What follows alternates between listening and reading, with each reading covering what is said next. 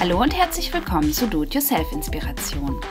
In diesem Video möchte ich euch eine andere Methode zeigen, wie man zum Beispiel diese Dragon Scale Armbänder machen kann oder auch alle anderen Armbänder, für die ihr äh, die Pins nebeneinander braucht. Zum Beispiel ähm, mit Gabeln habe ich das ja zum Beispiel schon mal gemacht.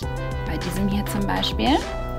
Ähm, wenn man mehr als vier Pins dafür benötigt, für, wie zum Beispiel für diese äh, breiten äh, Dragon Scale Armbänder, habe ich ja immer zwei Gabeln zusammengeklebt. Aber das verrutscht manchmal und ist nicht so wirklich fest zusammen. Und einige von euch fragten auch schon mal nach einer Alternative. Und es gibt auch die Möglichkeit, das Ganze mit einem Kamm zu machen. Da habt ihr auch einfach die Pinne nebeneinander und die haben, äh, die sind halt schon mal fest zusammen ähm, die äh, Zinken hier von dem Kamm.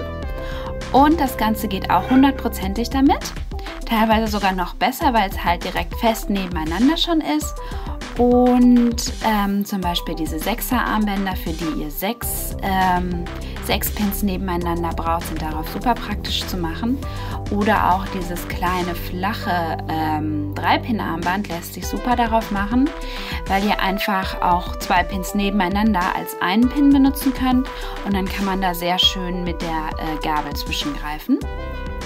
Das geht alles hundertprozentig und ähm, wie gesagt, das ist eine super Alternative zu den Gabeln. Und ja, so ein Kamm hat ja auch jeder zu Hause oder ist ja auch äh, super günstig zu bekommen. Und ja, vielleicht ähm, hilft euch das und ich hoffe, euch hat das Video gefallen. Ihr mögt die Idee und wenn das so ist, lasst mir einen Daumen nach oben da. Und ja, sonst, äh, wenn ihr noch Ideen, Wünsche oder Anregungen habt, schreibt uns einfach was in die Kommentare. Oder wenn ihr unseren Kanal noch nicht abonniert habt und in Zukunft mehr von uns sehen möchtet, dann abonniert uns einfach. Und wenn ihr noch mehr Fotos und sowas von uns sehen möchtet, dann schaut einfach mal bei Instagram, Twitter oder Facebook bei uns vorbei. Und bis zum nächsten Mal.